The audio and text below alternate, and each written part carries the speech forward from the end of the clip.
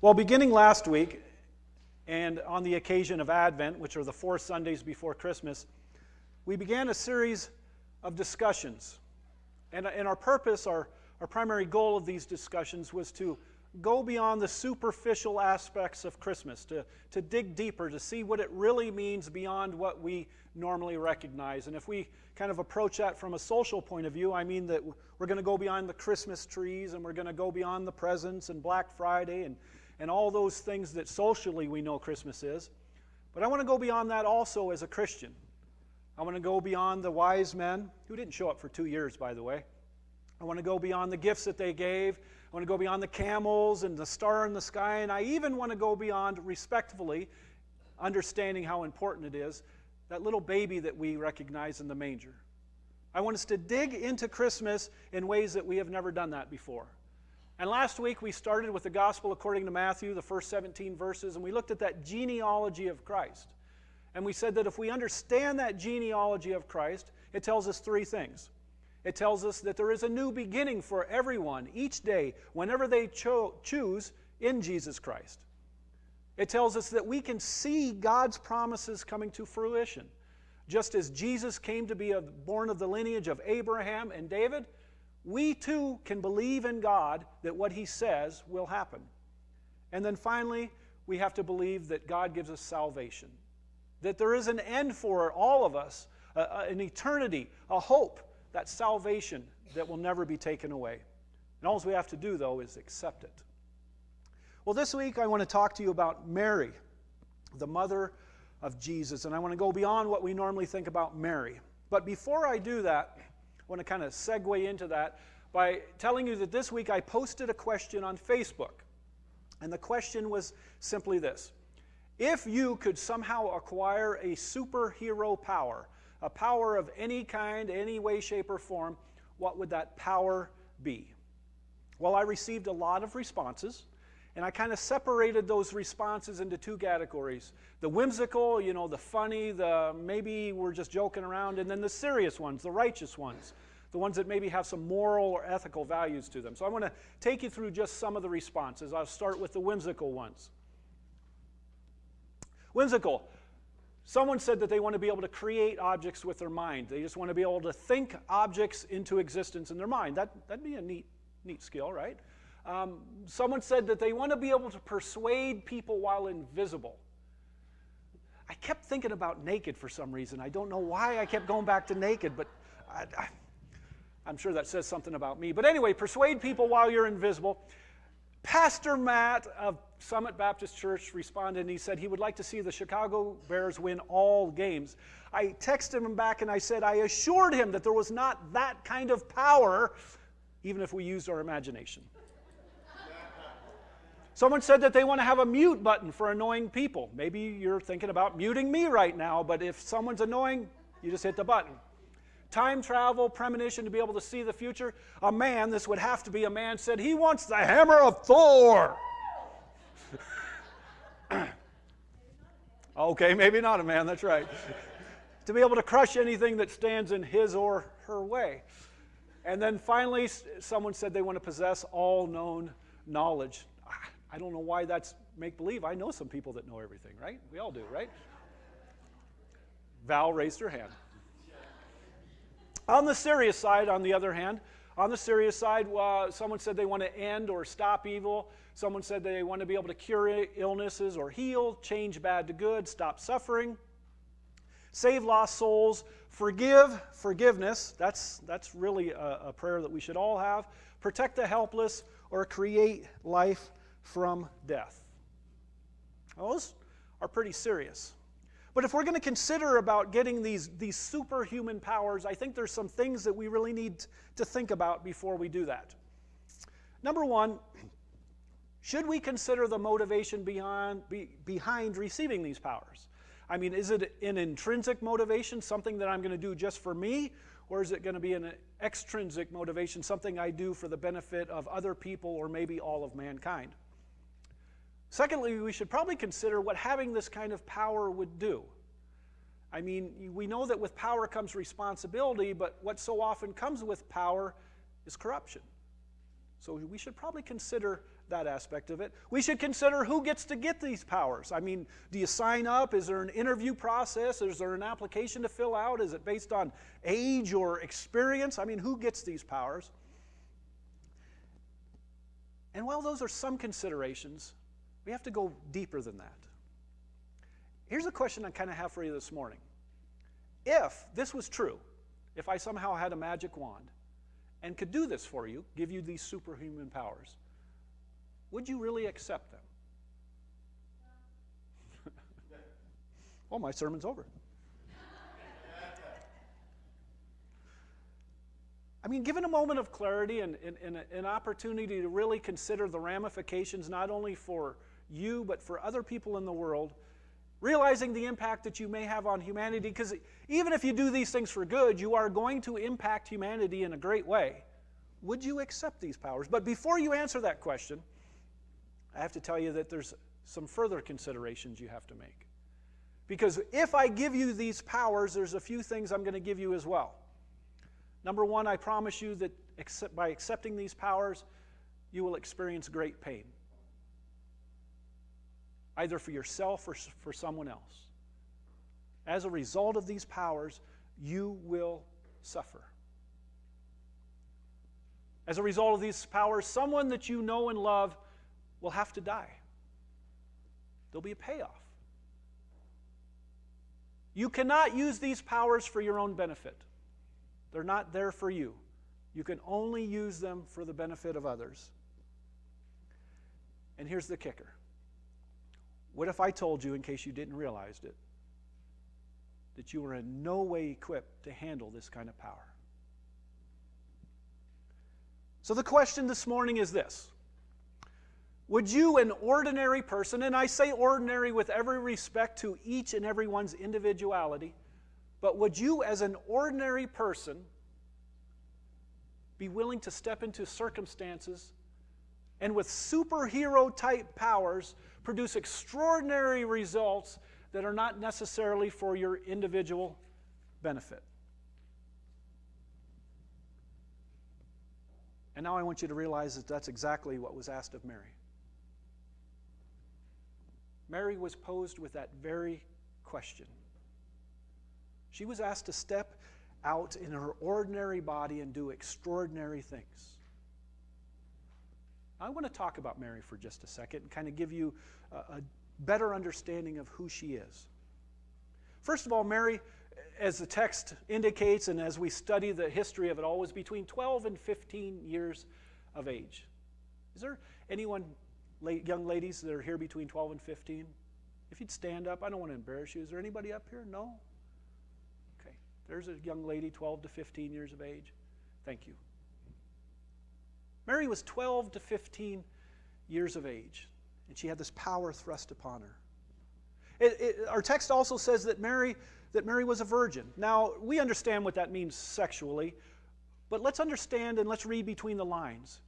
What that is indicating is that she was innocent that she was not of the world, that she hadn't experienced things, that she was wet behind the ears, that she was unknowledgeable of so many things. The text also indicates that she was poor. Mary was poor. She was nobody of consequence. Yes, she was in the lineage of David, but her family was poor. She was poor. She was nobody special. We also know that Mary was pledged to be married to Joseph. She was just beginning her life. She had all these plans, I'm sure, as any young woman does, uh, uh, impending their first marriage. All these plans of the future. Maybe she had children in mind, maybe a, a new house, a, a large family, whatever it was. She was just beginning tomorrow, today.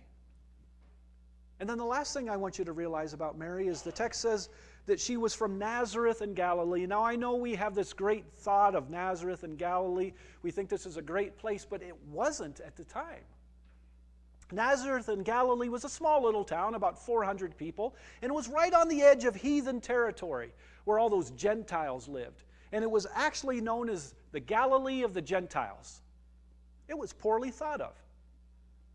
And so we have Mary, this innocent 12 year old girl from a small, ill thought after town, who has an opportunity to really start a life with a new husband.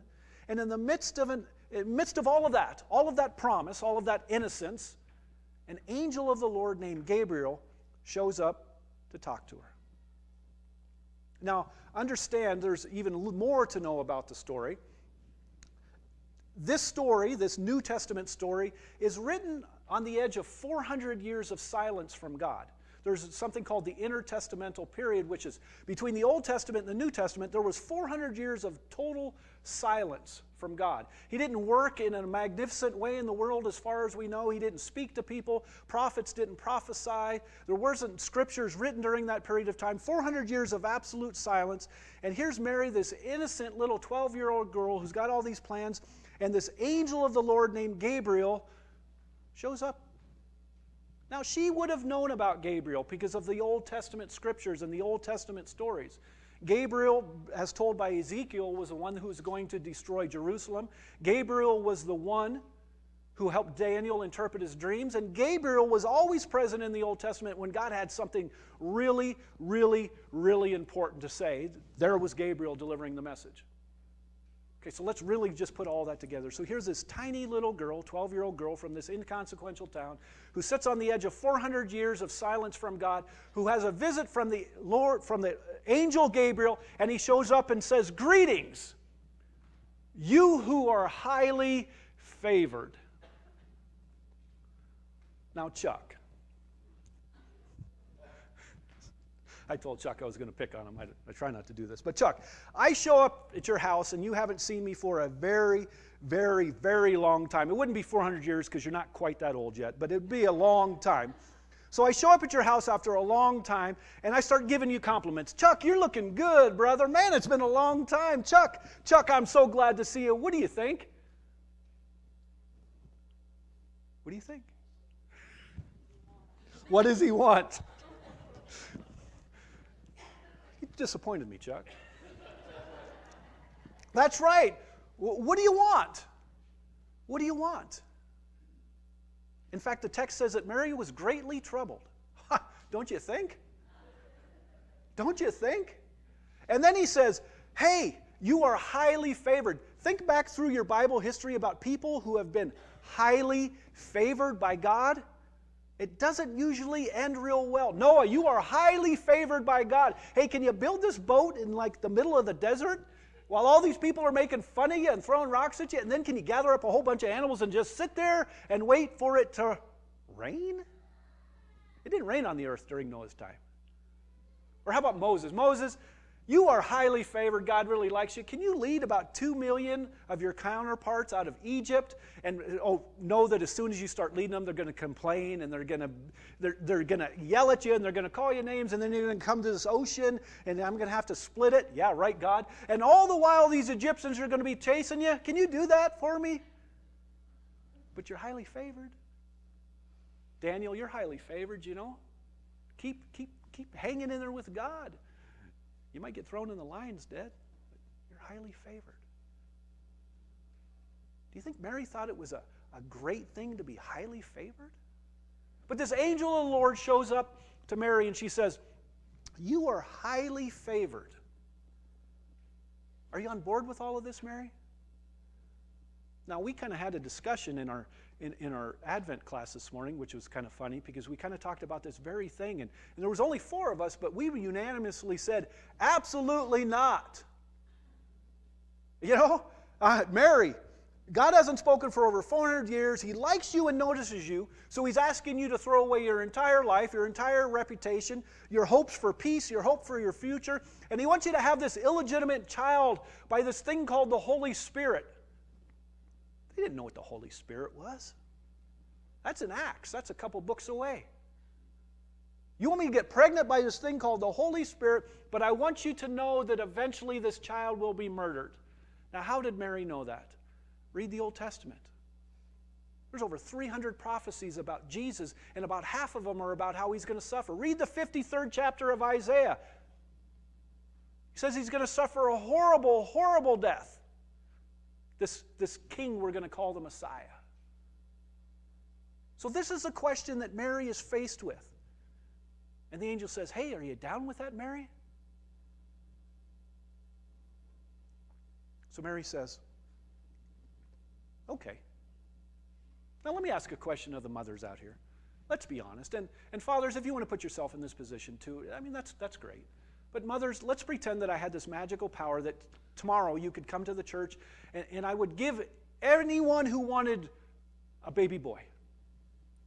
You wouldn't have the pain of childbirth and none of that stuff, regardless of your age, regardless of where you are in life. You came tomorrow, ladies, and I would give you a baby boy, but only on the set of conditions that you know that the child's going to grow up and then be murdered. And not for you, not for him, but for all people, which includes those Gentiles that you don't like. Can I see a show of hands, mothers? How many would say, hey, pick me? But that's what Mary said. Mary said, I am a servant of the Lord. Let it be with me as you have said.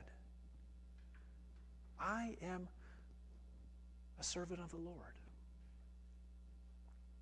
Now, when we take that word servant, we think about it as somebody who's just going to do something for you.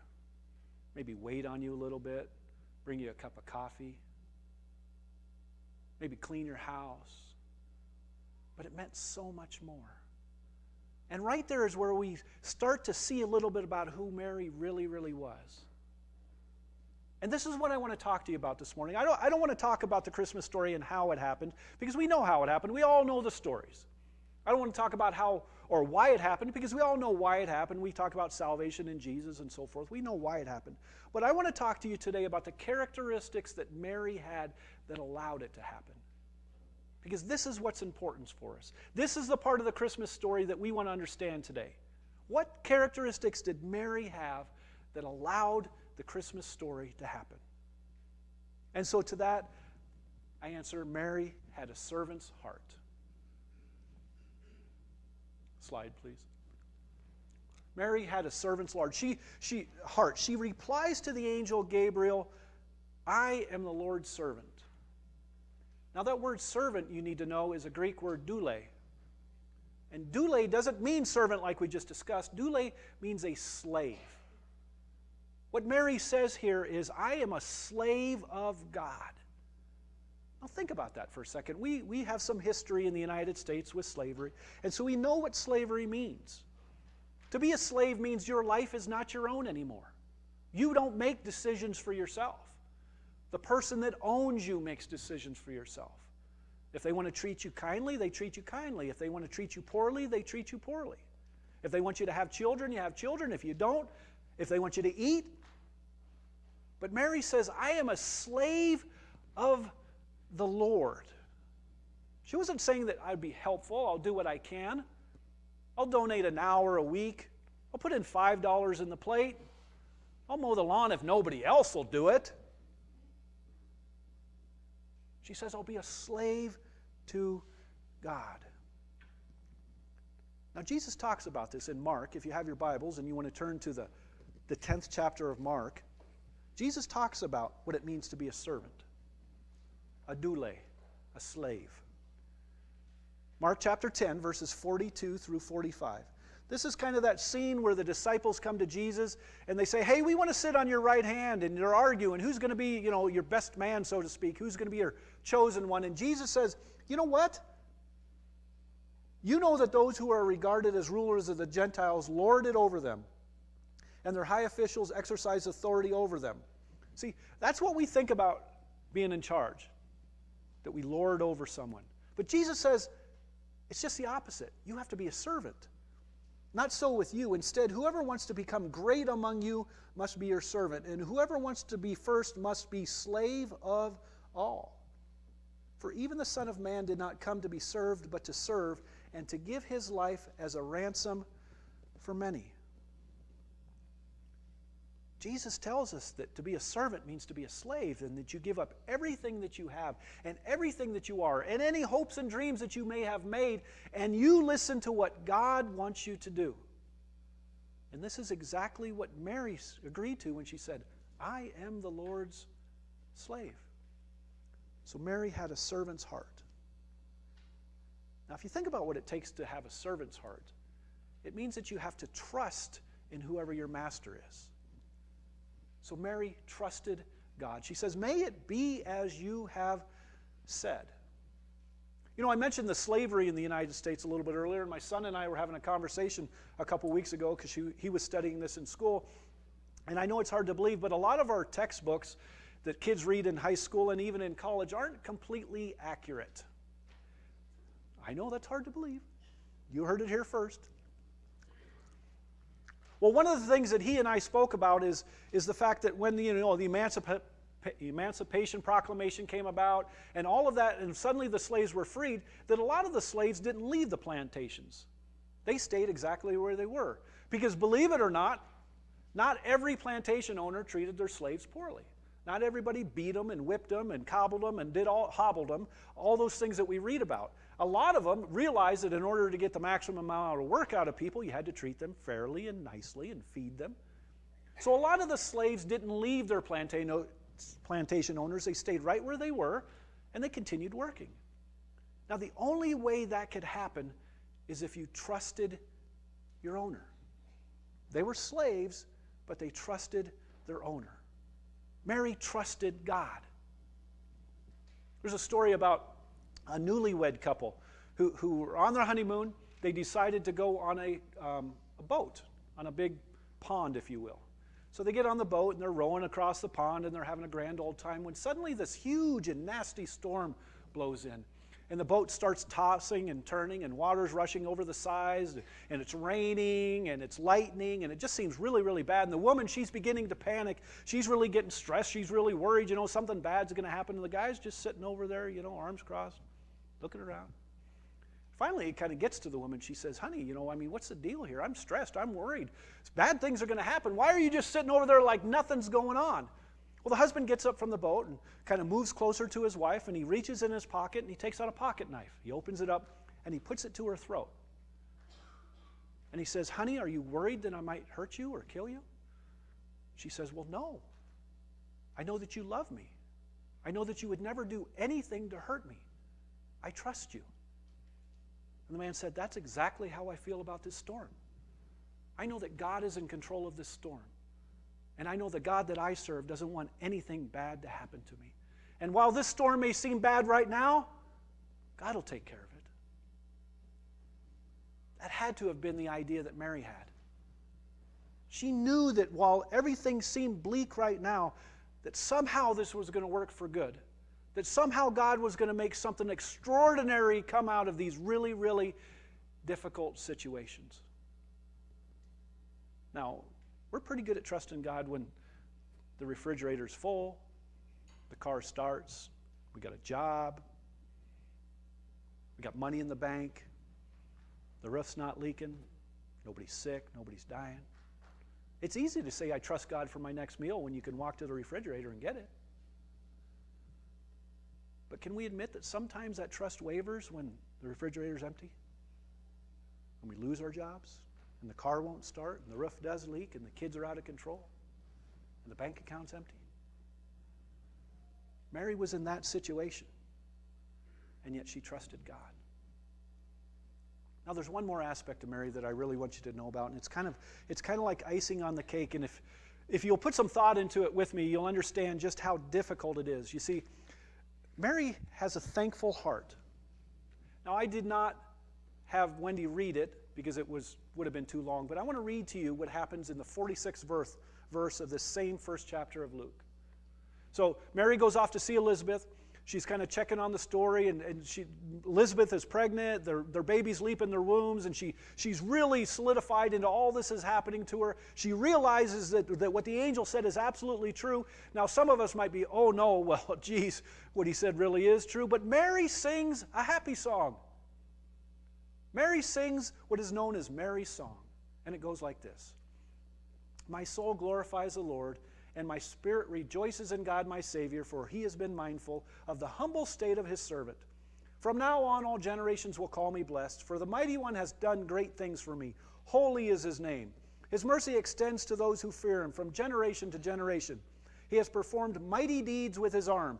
He has scattered those who are proud in their inmost thoughts. He has brought down rulers from their thrones, but has lifted up the humble. He has filled the hungry with good things, but has sent the rich away empty. He has helped his servant Israel, remembering to be merciful to Abraham and his descendants forever, even as he said to our fathers. That's right. Even when Mary confirms what the angel Gabriel said after she visits Elizabeth, she sings a happy song to God. Now, come on, man. How many of us could sing a happy song in the midst of that? We all know that person that, that, regardless of when they pray, even when the world is falling apart around them, they start off and they say, Oh God, thank you. Thank you for everything I have. Thank you that my roof is leaking. Thank you that my car won't start. Thank you that I'm broke. Thank you I don't have no dinner. And come on, they're annoying. See a few heads being honest and shaken. They're annoying. But this is what Mary did. She says, have, have a thankful heart. And I have to believe that what Mary realized and what I want you to realize today is that if all of this stuff is happening, it means that God is with you and it's part of His plan. And what an honor it is to serve God even when things are bad. Mary found it an honor to be part of God's huge plan. Now, she did that in spite of the fact that it probably wasn't what she would have wished for. Paul in Acts 26 2 says to King Agrippa, he's in, he's in front of the proconsulate, possibly facing death, possibly facing um, imprisonment. He says, I consider myself fortunate to stand before you today as I make my defense against all the accusations of the Jews. I consider myself fortunate, God, for all the bad things that are happening in my life because I trust you and I'm your slave. So, what I want you to learn from the Christmas story today is that we do have superhuman powers. That's kind of how we started. I want to bring us full circle. We wished for superhero powers. You have been given them already, you possess them. God gives them to each of you if you will but use them. You have the power of servanthood, you have the power of trust, and you have the power to be thankful that you are part of God's plan. Those are your superhuman, superhero powers. And with them, you can accomplish anything in this world that God has for you to accomplish. You just got to use them. And start, stop wishing for something that you already have. Now, John Lowe, I want to thank John Lowe. He sent me a, a little comic strip this week, and I mean, he had no idea what my sermon was going to be about, but he sent me this little comic strip. Or actually, no, it was Kelvin. It was Kelvin. That's who it was. Kelvin Bernhardt. I'm sorry. John always sends me stuff. That's why I went back to John. so Kelvin sends me this, this comic strip, and I want to read it to you because it's kind of small print. But here's a good. It starts up in the upper left-hand corner, and there's this. I don't know, some kind of superhero in the sky, and he's fighting off one of them. I don't know, you know them. I don't know. Godzilla movies with the flying. Ah! He's fighting off one of them, and this man and this boy are sitting there, and the man says, Cool. And the boy says, I wish we had powers. And so they're sitting there thinking. And the man says, uh, See that sad looking guy with the ugly hat? I'm down here on this second from the left up. Now it says, Watch. Hey, your hat is awesome, and you're awesome for wearing it. And the man says, Oh, um, thank you. And the older man says, Now look at his face. And he turns to the boy and says, We all have powers. And the boy says, Cool. That's what I want you to know about the Christmas story. It's about accepting the power that God has given you and doing great things in His kingdom and for other people. Let us finish with a prayer. Father God, we thank you for the story of Mary. We thank you that she was just a young, innocent girl, poor girl from a ill thought after town.